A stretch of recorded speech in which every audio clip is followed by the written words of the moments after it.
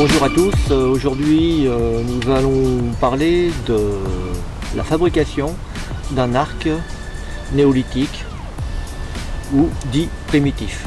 Cet arc c'est en freine et je l'ai fabriqué il y a à peu près une semaine. Donc c'est un morceau de bois que j'ai coupé euh, frais et je, vais vous faire voir maintenant comment on procède. Je vais aussi vous faire voir un deuxième arc qui est fini, un arc en if. Alors là, ce morceau d'if a séché pendant trois ans et j'ai fait l'arc il y a à peu près une euh, dizaine de jours. Et j'avais un deuxième morceau, une deuxième bille de bois que j'ai commencé à travailler. Donc je vais vous faire voir tout ça en détail. Et là, notre première chose, c'est d'aller chercher dans ce bois une petite euh, billette euh, de frein. C'est parti. Alors là, je me, je me repère, pour reconnaître les freins, je me repère encore aux feuilles.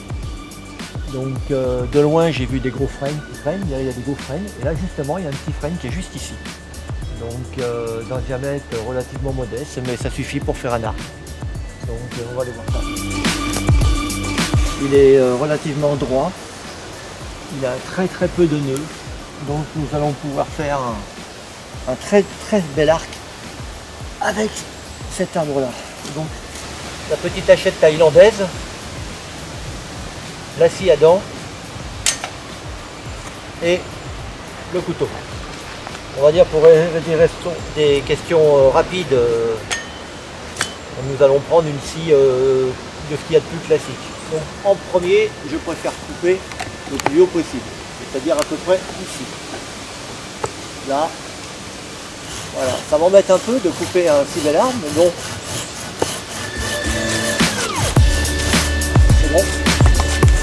La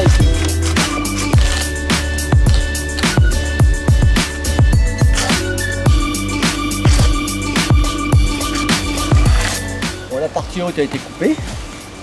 Maintenant, nous coupons la partie basse. Beaucoup plus simple, hein, quand même voilà. Là, à la bonne hauteur. Et on s'aperçoit que c'est quand même un bois. Ok, il est vert, mais relativement dur quand même. C'est un bois dense. Et voilà. Donc, euh, le bout de bois a été recoupé. Nous l'avons à peu près à la bonne taille. Donc maintenant, ce qu'il faut que je cherche, c'est à peu près l'équilibre pour trouver l'axe. On va dire, c'est des mesures empiriques, mais on va faire comme faisaient les, Amé- les, les Amérindiens ou les hommes néolithiques, il n'y avait pas de mètre. hein. Donc euh, voilà, à peu près, c'est à peu près ici.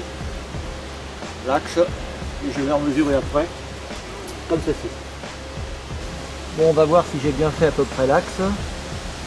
1, 2, 3, 4 et une main.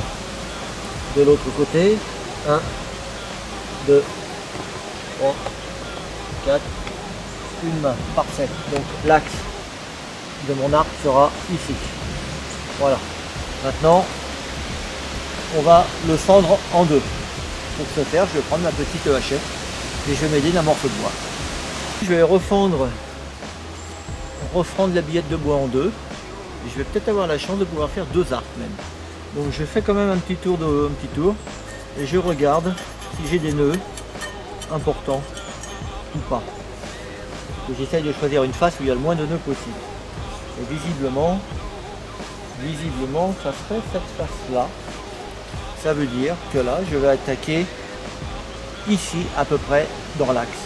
Et comme c'est un bois qui est très, euh, très avec des, comment dire, des fibres très droites et très longues, en théorie, si j'attaque ici, je vais fendre mon morceau de bois exactement dans l'axe de la bille. Donc je vais attaquer tout de suite ceci. Donc je me cale là. Oh oui, en plus il a des fermes très serrées. Voilà. Je vais attaquer ça avec un petit morceau de bois comme ceci.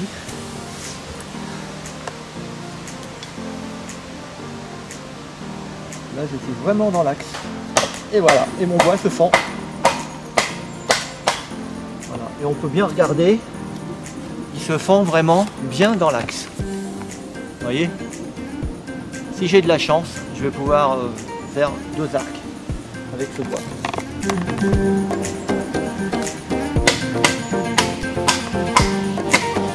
De là, je vais tracer la poignée et l'arc. Donc, je vais pas retirer l'écorce. L'écorce, je retire pratiquement vers la fin. Donc là, je trace comme ceci. Voilà, ma poignée sera ici. Une, deux, voilà. Ma poignée est là. Alors comme l'arc que je vais fabriquer aujourd'hui, ça sera plus un arc, un flex bow qu'un longbow. Donc euh, il va, il va être assez, assez large. Et quand c'est un arc avec des branches qui sont assez larges, pour avoir une bonne prise en main, il faut bien évidemment rétrécir la poignée. Donc pour ce faire, je fais comme ceci. Voilà. Et voilà. Donc, ok. Là, ça sera la taille de ma poignée. À partir de là, je vais tracer l'axe même sur le voie par rapport. Voilà, donc j'appuie mon pouce comme ceci. J'appuie mon pouce comme ceci et je suis, je suis la, la rectitude de l'arc. S'il est un peu tordu, ben ça suit, mais je suis toujours dans l'axe. Hop, je fais la même chose de l'autre côté, comme ceci. Je suis l'axe. Et si ma branche est tordue, et ben ça suit, ça suit les fibres.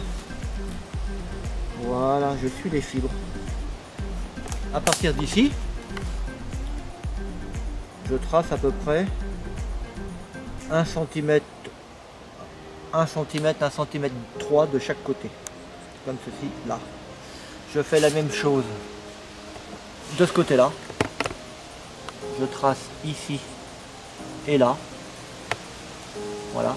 Et là, je vais essayer de me trouver une baguette de bois à peu près droite. Et je vais me faire comme une petite règle pour avoir la bonne forme. J'ai préféré prendre de la ficelle fluo pour que vous voyez bien le, travail. Donc là, je fais un nœud. Je m'appuie comme ceci. Voilà je fais un nœud ici, comme ça. Tout simple, il n'y a pas besoin de faire quelque chose de compliqué. Je me mets ici. Et là, je me mets où j'ai fait ma fente, mon petit trait tout à l'heure. Là, je fais comme ça. Je prends, je trace plutôt à l'extérieur, c'est pour éviter les erreurs. Et là, je trace. on va faire ça de l'autre côté l'arc est tracé. Nous avons la poignée et nous avons les branches de tracé. Maintenant, je n'ai plus qu'à entailler à la machette de chaque côté et pour retirer toute cette matière qui est ici.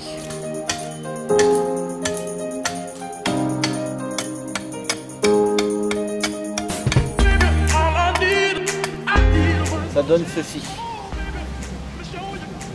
Voilà. ma poignée, c'est exactement ce que je recherchais. Alors maintenant, il est bien évident que là, ça reste quelque chose de très très dur. Il va falloir que j'entame sur l'épaisseur. Je vais travailler qu'à l'intérieur de l'arc. Je retire la, de la matière que sur le ventre de l'arc. Je laisse toujours mon écorce apparente pour l'instant. Maintenant, je débite. Donc là, c'est pareil, je fais la même chose, je commence toujours par le bas et je remonte au fur et à mesure.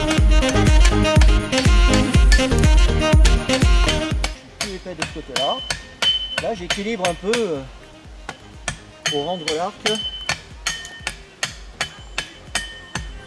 Je retire vraiment l'écorce, hein.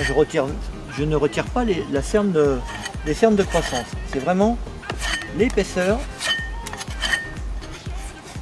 l'épaisseur d'écorce que je retire. Il est bien évident que quand c'est frais comme ça, ça va bien. Hein. Bon, je vais arrêter de mettre des grands coups de, machette maintenant. Je vais juste euh, essayer de d'affiner comme ceci toujours le dos. Voilà, euh, enfin pas le dos, pardon, le ventre. Pour essayer que ça soit à peu près régulier. Hein.